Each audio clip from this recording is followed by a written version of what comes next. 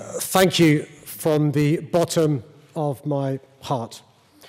I'm deeply humbled by the trust Londoners have placed in me to continue leading the greatest city on earth.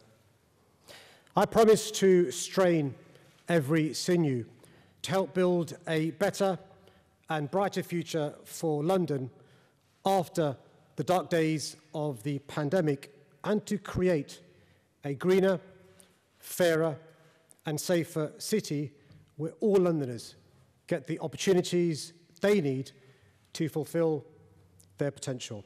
Last year, we've lost more than 300,000 jobs in London and more than a million Londoners are currently on furlough, which ends, ends September. So I've got a plan to make sure we have jobs, jobs, jobs. We're going to support those people still in work. We're going to support the creation of new jobs. And if anybody loses their jobs, we're going to help them get back into work.